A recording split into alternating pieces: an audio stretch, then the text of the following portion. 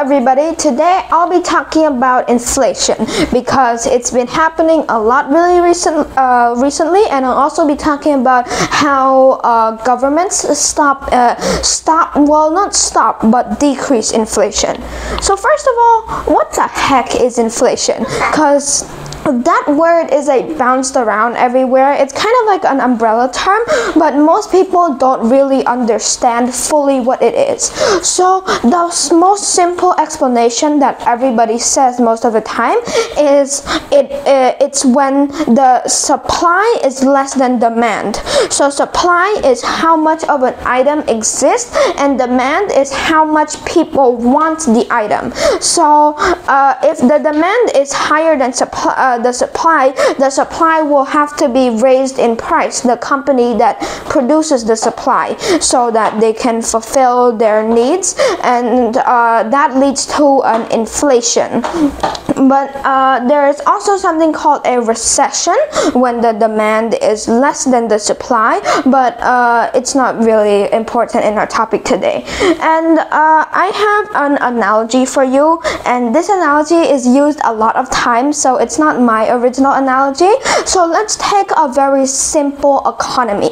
Let's take, for example, a place there's uh, uh, two stores selling food, and uh, the people don't have money to uh, purchase this food. They purchase uh, or either make stuff by themselves because they don't have enough money. But let's say the uh, the central bank of that country. in America, it's called Fed, uh, but in other countries, I'm not sure what it's called, but I'll take America for example because America is America. So let's say the Fed of this country uh, gives everybody a lot of money. So now that money can be spent in these two food stalls. Now these two food stalls will need to produce more. So they'll have to so they'll have to uh, um, higher the prices and then that leads to people spending uh, more because the prices are higher. So people will lose more money and then it will lead to people not having enough money to spend again.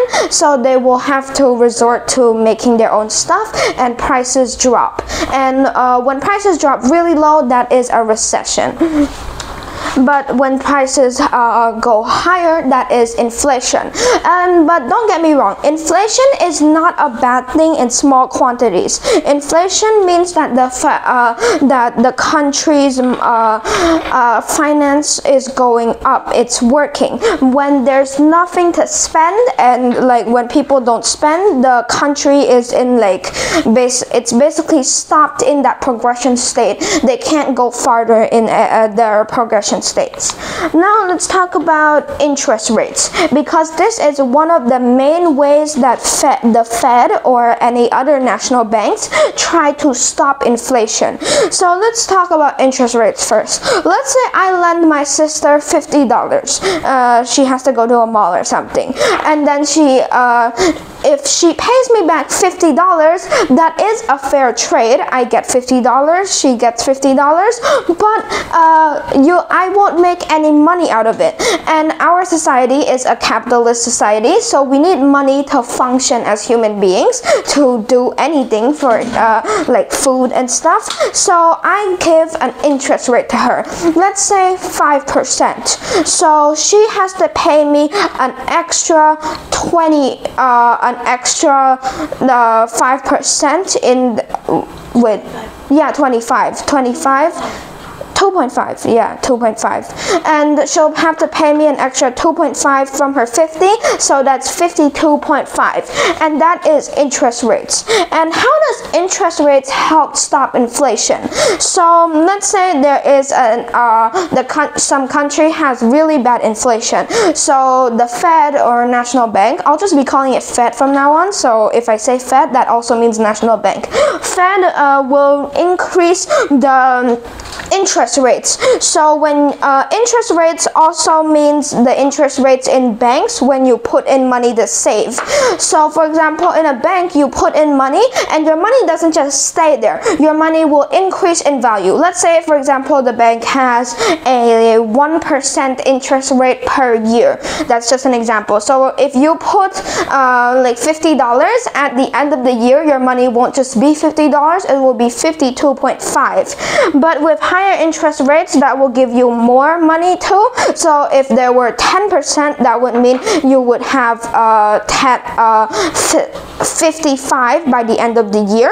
But that also means when people borrow money from the bank, there will be a higher interest rate. So people have to pay more. And that's, uh, people don't really want that. People want cheap prices. So that will incentivize them to not uh, borrow money from the bank. So that means less spending. So less spending means less demand and less demand means higher, uh, lower prices. But a lot of people who don't understand interest rates slash inflation, they don't, they are very against raising interest rates. But if you think of how it will lead to in the future, it's an amazing thing for the country if they try to stop inflation. Because let's take the Great Depression of America, for example. That was one of the worst times for America, and that's why America is trying to like stop uh, from inflation getting that bad and becoming a recession. But that wasn't just a recession. A recession is like a midpoint. There's even an even worse state, which is a depression, and a depression is absolutely very bad for a country. Now, some countries are way beyond a depression state, like Zimbabwe, for example. You need like uh, there's a running joke that says everybody in Zimbabwe is a billionaire in Zimbabwe money because America, uh, America has the U.S. dollar, which every single country uses to trade. So they have a lot of power on the world. So that would mean they can uh, make huge inflations onto a country like Zimbabwe and making their money basically worthless. And that leads to the end of my presentation. If you have questions, you can ask me. No.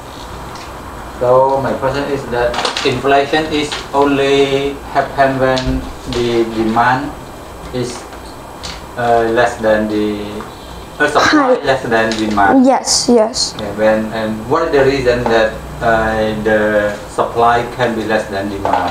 Because people have too much money to spend. Have too much money. Yes. So when people have too much money, it, it is good for It- the, the society. It is good for the economy, but when people have too much money, that will also make prices too high. It's it's good if people have a lot of money and there are also a lot of supply. But if people have a lot of money and there's very less supply, that's a bad thing for the economy because you can't. Uh, everything is good in certain amounts. If you put too much into it, there will be a problem. Everything will have a problem if there's too much of it. So if they can produce more more supply to meet the, the demand, then okay. yes then that is good for the economy but if they can't produce enough supply for the demand that is bad for the economy And do you know any problem that the uh, we cannot produce more to meet with the demand? Uh, to more to meet with the, the demand. Uh, any problems with it. Let's say uh, the situation when uh, in america when covid just started and the lockdown started people were purchasing everything in the supermarkets. They were trying to stop uh, stock up their supplies because they would stay home a lot and they would also uh, put like they would be very afraid to spend their money. So that made the supply go down very fast. Like some places ran out of tissue paper some places ran out of water meat vegetables and stuff like that. That was when supply was very much less than demand. Okay. okay thank you. Goodbye